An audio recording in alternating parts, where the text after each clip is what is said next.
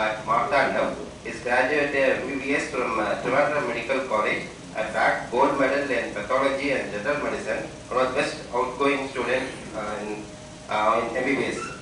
Uh, he joined medical service at Uppattur in 1961 and shifted to Madras and uh, joined uh, MMC, Stanley Medical College, and uh, did his MD in 1966. Later, he joined as assistant professor in MMC and has presented many papers in gastroenterology along with Professor NMG.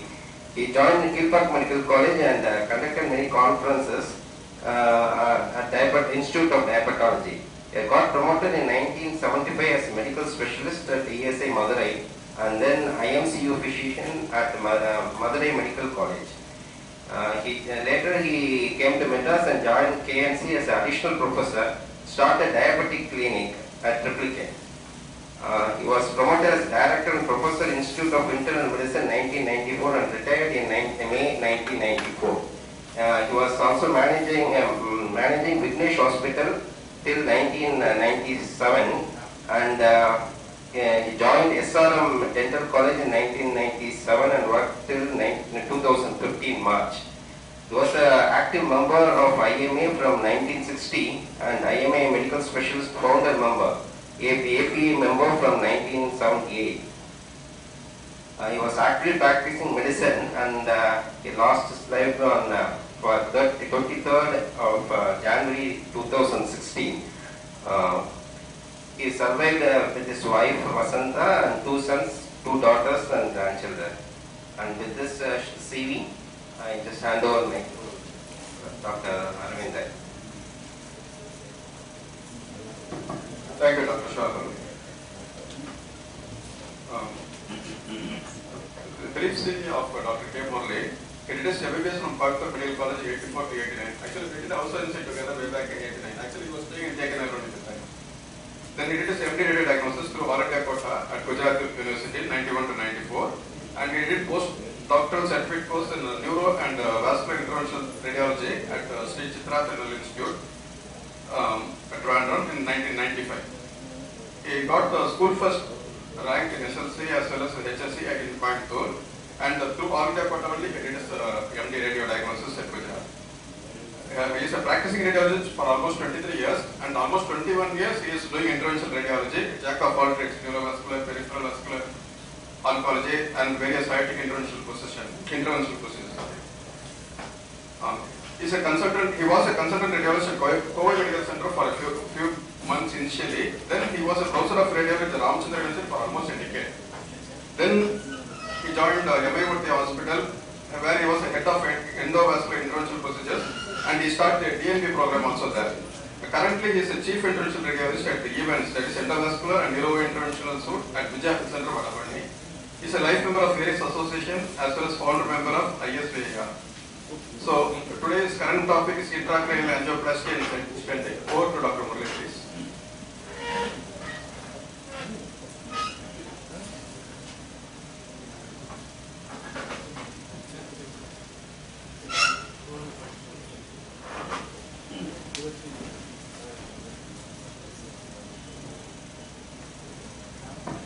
Now I request uh, Dr. M. Arunachalam, our past president, to garland Dr. Murali.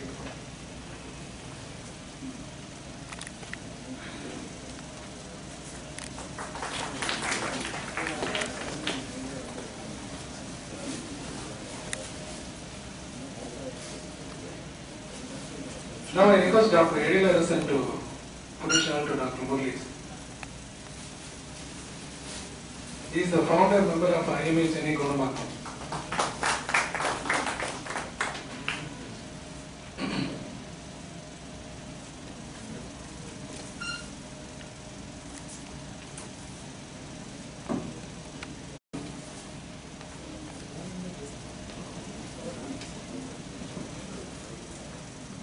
Good afternoon.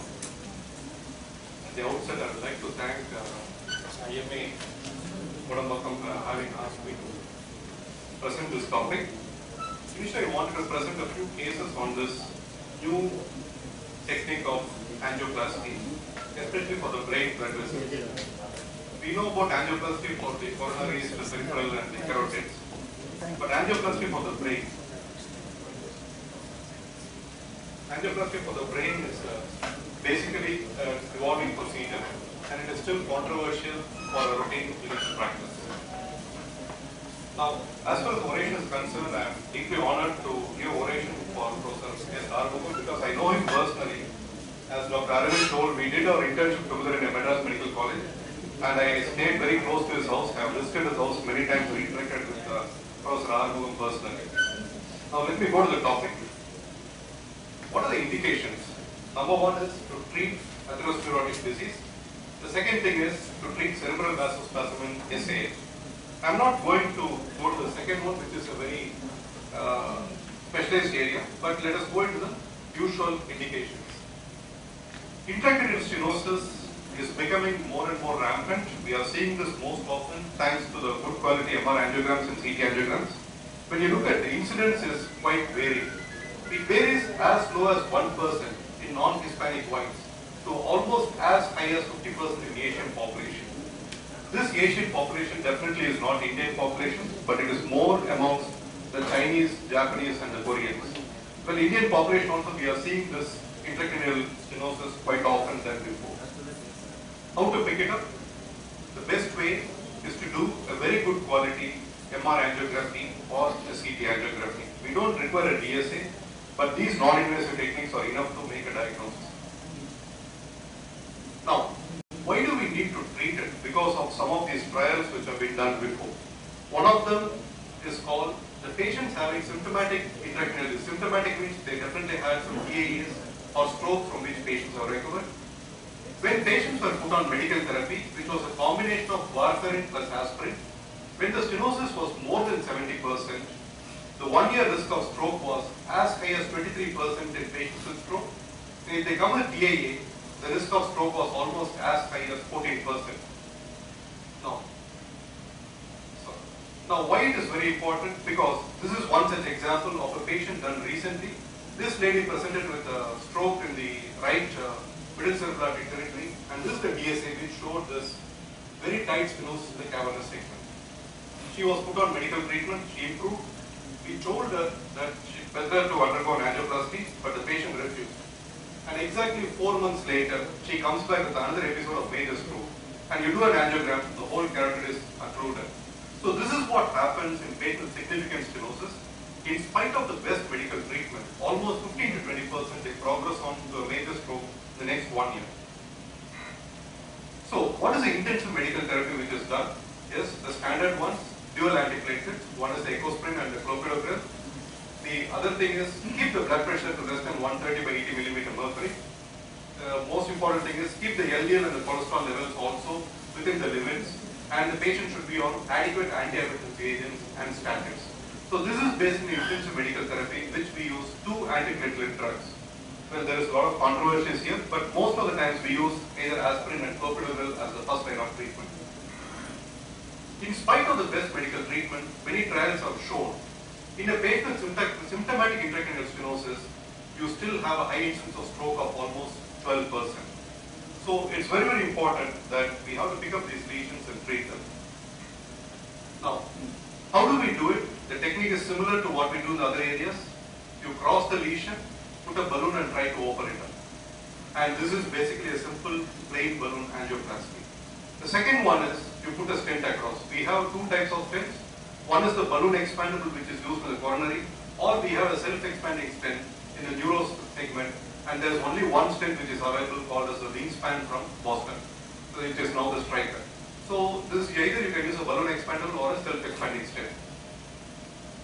So what are the various revascularization options? One is to do a surgical bypass. Surgical bypass is more of a complex procedure. One is to do a superficial temporal artery from the external carotid to the middle cerebral artery bypass. This technique is more popular with the Japanese surgeons and also in India, which is done for conditions like moya moya or sometimes when you want to do a bypass for treating some aneurysms, the surgical bypass is done. The other alternative is to do an intracranial angioplasty or combined with the stent procedure. Now, when we do a CT angiogram, please don't do a CT angio of brain alone. We always do it from the arch to the top of the brain. When we do an angiography, we do like that. This is very important. We have to pick up tandem lesions. Sometimes there will be lesions like carotid and also an intracranial lesion. The course and caliber of the arteries are measured for planning purposes. This is one such example. This is one patient who come, came with a recurrent TIA. You can see here the DSA for the same patient. This is the carotid, has got a tight left carotid stenosis. As you see higher up, you can see the stenosis. There is another significant stenosis, in the cavernous segment. This is the posterior circulation, has got a tight stenosis in the basal uh, Tandem lesions and multiple lesions are known to occur in patients with intracranial atherosclerosis. Now, is the angioplasty technique same like coronary? Definitely not, because the brain blood vessels are completely different. Their internal elastic lamina is different. So what we, what is recommended is, you use a balloon not with the same diameter as the normal vessel. We use a balloon with a lesser diameter. We do a prolonged inflation. In coronary, many times they'll just inflate and deflate rapidly. Here we have a very prolonged inflation going for almost 40 seconds to 1 minute. And stenting is done either with a self-expanding or a balloon expandable stent. We don't have any balloon expandable stents approved for intracranial use. So we use some of the coronary stents only, which are very good and navigable, the balloon expandable stents. And there is only one FDA approved self-expanding stent, which is the Wingspan, which again is uh, into a lot of controversies. I'll come to the controversies later. Now, as far as the procedure is concerned, this is not done under local anesthesia. The simple reason is we need a lot of controls, the patient should be still, and the patient should be, the procedure should be done under general anesthesia. And the second thing is, we always put the patients on antiplatelets prior to the treatment, and many times we check for globular resistance. Many of the time we don't check, we know uh, the cardiology practice, people who have had stents and suddenly they come with stent occlusion. At the time when you check up, you know this patient has got resistance to clopidogrel and we have to shift to the next drug. Whereas intracranially, we are more careful. We try to do this platelet function assessment as a routine and look for clopidogrel resistance. If clopidogrel is having, patients having resistance to clopidogrel, we shift to the newer antiplatelets, which is either a prasugrel or the next generation ticagrelor. Now the technique is same. When you dilate, the plaque gets compressed, then it modifies, or the plaque breaks and it breaks and forms a new lumen. Basically, in coronary, because of this breakage, stent has become a routine. Now, there are certain classifications of intracranial lesions. I don't need to go into the depths. One is some of them was very short, less than 5 millimeter, 5 to 10, or when the lesion is longer than 10 millimeter. The type C lesions are more tough to treat. Many times they are not treated with angioplasty. Now let me go into the cases. This is one patient who had recurrent left MCA territory transient ischemic attacks. His color Doppler neck was normal, CT brain was normal, he was on dual antiplatelets. And an angiogram was done. You can see here, on the DSA there is a very tight stenosis of the middle cerebral artery. This is a 3D angiogram which we do as a part of DSA to plan for the treatment. We can measure the vessels accurately and so that we use the appropriate size balloon. In this patient, what we did was a simple plain balloon angioplasty. We just put in a balloon, dilated it, and this was the dilatation we achieved. Before the dilatation, you hardly see the perforator vessels filling. After the dilatation, definitely the flow in the perforators had improved. And I'll show. This is a follow-up angiogram of the same patient at the end of one year after the procedure. You can see here the vessel is quite good, remodified, no stent, and the vessel is doing good. We would like to have this sort of uh, follow-up in all the patients, but many times it does not occur. We know that atherosclerosis is progressing. Sometimes you can have neointimal hyperplasia and all its problems. This is another patient. He had three episodes of strokes in one month. Again, in the left MCA territory. This is the MRI which shows this uh, diffusion-related infarct. This infarct is seen in the left parietal cortex. And you can see on the MR angiogram, such a diffuse stenosis of the MCA. And he also had other lesions in the carotid, in the opposite carotid. You can see here, this is the angiogram. This is the stenosis here. And this is the perforator which is arising from the distal to the stenosis, very tight stenosis. This patient, since he had three episodes of uh, EAAs in one month, he was on two antiplatelets. He was compliant with the treatment in spite of the need. So we planned him for a stenting or, or an angioplasty. On the day of the procedure, in the morning he had one more episode of TA and he was put under GA. And when we did an angiogram, you see here already the vessel has got completely occluded. We crossed this because it was just an occlusion on the day of the procedure. We crossed this lesion and we put a stent across And first initially we did a balloon dilatation, stent was done, and the whole vessel was open, and this patient is now symptom free. Another gentleman, 68-year-old gentleman. These are the patients we see in common practice. We treat them as cervical spondylosis. We treat them as posterior fossa insufficiency, posterior circulation symptoms, recurrent falls, severe episodes of giddiness. You do an MRI, some brain some small infarcts are seen. But the most important thing is the MR angiogram, which is very important, which shows the basilar stenosis. You can see here, there is a tight basilar stenosis, and this patient was symptomatic in spite of the best medical treatment. Again, a 3D angiogram shows a tight stenosis, and there is a big vessel arising from closed stenosis, which is an ICA. So what we do is, we just go there, do a low pressure dilatation. We don't make a completely normal vessel like what they aim at the coronary or in the peripheral. We just allow some dilatation, and this vessel, this uh, lesion is treated. We improve the flow by almost around 60 to 70 percent by doing a simple plain balloon angioplasty. Now this is another patient, 50 years, severe giddiness, again repeated falls. He couldn't even walk properly. He had an acute spontaneous infarct from which he had fully recovered in the last six months. Again, you do an angiogram, a tight basilar artery stenosis, an ICA, which is a vessel arising from the stenosis, and you can see that the stenosis is very, very ragged. And I showed the initial angiogram, this patient carotid lesions on the right side also. We went in, did a balloon dilatation, so we decided to put in a stent across because uh, there is no clear-cut recommendation whether you should stent every patient or not. This is an area which is evolving. We'll get the guidelines in due course of time. And we did a coronary stent here because straight segment. We put a coronary stent. It was a three millimeter stent which was put in, and the whole vessel has recant legs. And now this procedure we did it around uh, three months back. For the last three months, he does not have any of these symptoms. Again, another gentleman, 81 years, unsteady gait, repeated falls, posterior circulation, symptoms. Again, he had another basilar stenosis. Well, I didn't want to treat it because a very old gentleman, he is going to have a lot of complications. But again, looking at his problems, the family and also the neurologist pushed him, why don't you just do, try to open up something, let him be better. And again, you can see here, this is a tight stenosis here in the basilar artery. We just did a simple balloon angioplasty, and now it is almost one year after the procedure, he is fine. At least his symptoms are relieved. Again, another patient, a 38 male, a banker. He was unfortunately on the other side, he was a credit card collector.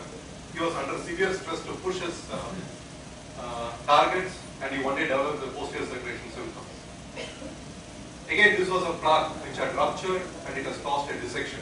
You can see here this is the normal basilar artery. Here the basilar artery has torn here. It's an acute dissection of the basilar artery due to a plaque rupture. Many times the plaques will rupture and occlude the basilar artery. Here in this patient it had dissected and caused a dissecting aneurysm. So in such a situation you need to put a stent across which was done here. This is a self-expanding stent which was put across in this stenosis and this is the vessel which is remodified after putting in the stent. So we have various modes of treating these intracranial lesions. The commonest one which we prefer to use is a simple plain balloon angioplasty, which we do it with a coronary balloon. Nowadays we have a specific neuro balloon called as a gateway, which is a very specific balloon which gives a very good dilatation, slow prolonged dilatation you can do with this balloon and you can achieve a good result. And when we are not happy with the angioplasty results, because stents definitely give a better long-term patency, we try to push in stents. If the anatomy is straightforward, our practice is to use a balloon expandable stent from the coronary segment because there is no approved neuro stent. The wingspan, well, it was available in India for a short time. The reason wingspan is not popular was uh, the wingspan was used um, uh, in US extensively, and there was a trial which was done in US called as a SAMMPRIS trial. And when they did this trial, they found that the medical management was much better than wingspan treatment. Because patients who had wingspan, the risk of complications were very higher. Sorry.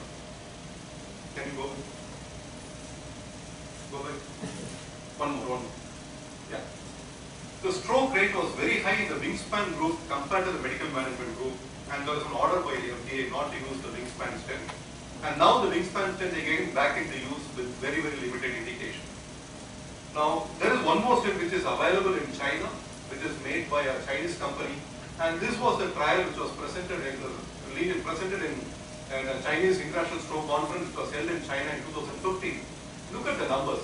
Is 1,372 patients treated. They had used 323 coronary stents, And they have especially mounted intracranial stents called as the Microport is a company which makes it called as Apollo intracranial stents. Still it is not available in our country. They have used 638 wingspan stents also. They just did balloon angioplasties in only 38 patients. So a huge amount of wingspan was used and the rest were coronary stents or a balloon expandable stents. And these results, they found that the success rate is as high as 96%. The complication rate definitely is less than what was in the US, which is around, around less than 10%, was around 8%. So the results are looking promising with large scale trials. Now we are going to get more and more trials from across Europe and uh, US, and we'll know where exactly the intracranial angioplasty and stenting is to stay. Now, what is the take-off message is, whenever we do a stenting and an aggressive medical treatment, we found that the stroke risk is very high when you do an intervention in vessels with perforators. Perforators are very common in the intracranial circulation. And there are a lot of perforators. When you try to put in a stent, if the perforators get occluded, the patients can have complications.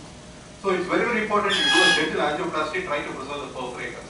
When you put a stent, the chance of perforators getting occluded is more, and in brain, the brain does not tolerate even a perforator occlusion. So, who are the patients whom we treat? We do an angiogram, we look at patients with poor collaterals. If the collaterals are very poor, they are not getting compensated from anywhere, we try to treat them. And for lesions near the perforator vessels, like the mid basilar or the distal MCA segment, lesion tortuous axis, we always try to do only a balloon angioplasty. If the anatomy is straightforward, then we do stenting. So intracranial stenting or angioplasty, yes, is a good alternative to medical treatment. Do you recommend as a first line of treatment? Definitely no. Patients come in with intracranial stenosis, we put them on dual antiplatelets, put them on statins, look at the clinical response. If the clinical response is not good, then you give this as an alternate method. The reason is, it's a relatively high risk procedure. I'm talking about a procedure where the risk is around 8%, 7 to 8% in even good studies. That means we have to achieve a risk rate of less than 2 to 3%, which is the practice in other neuro interventions. But unfortunately, intracranial angioplasty risk is a little bit more.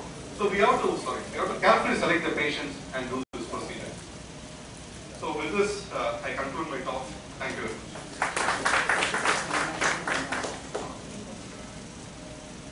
Any complications, complications? Yeah, we, we have done around, uh, till now, I have not put our personal results, our numbers are very low, around uh, 21. We have had uh, two strokes in the post-op period. Luckily for us, they all recovered within one week.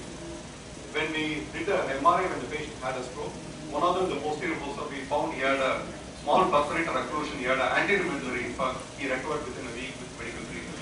The other patient was in the MCA, when he was fine for one day, the next day he had again a stroke. We just did a MRI diffusion which showed a edema in the MCA territory. Luckily he also resolved with uh, antiplatelets to post-op.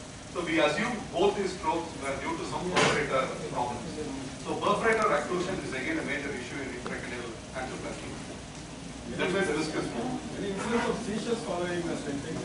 So still now I'm not there.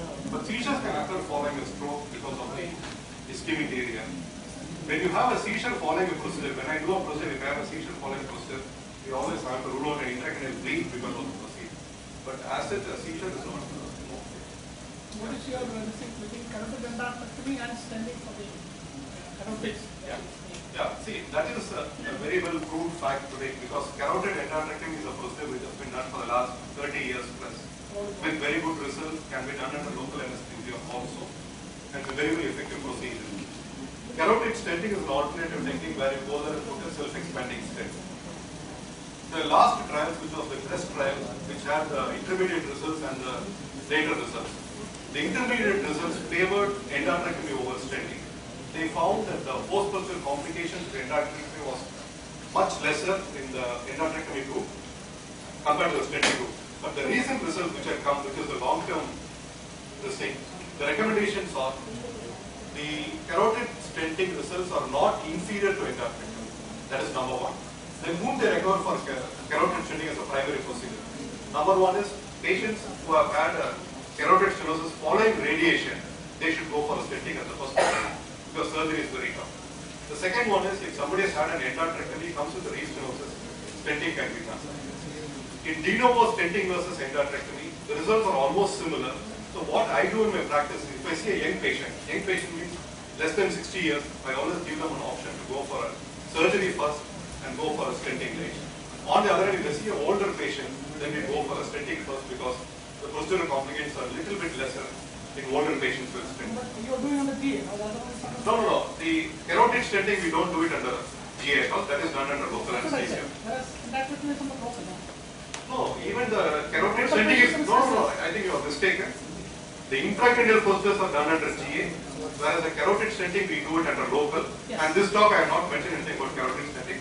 Carotid stenting is done under local anesthesia. We don't do it under GA. That's what I was also saying. When you're doing under GA, the risk is much more than under local. I don't think so. I don't think so. We used to do all the intracranial procedures like uh, AV embolizations. When I started my training in Sri Chitra in 94, all the AV embolizations are done under local anesthesia. Even anesthesia will not be available.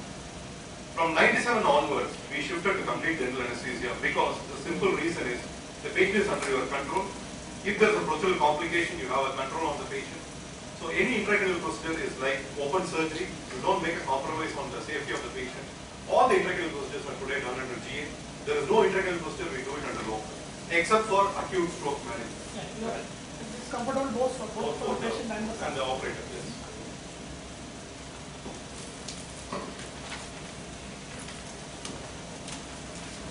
Thank you very much for a wonderful talk. And now I request Dr. Raveen to hand over the certificate of appreciation to. Murali.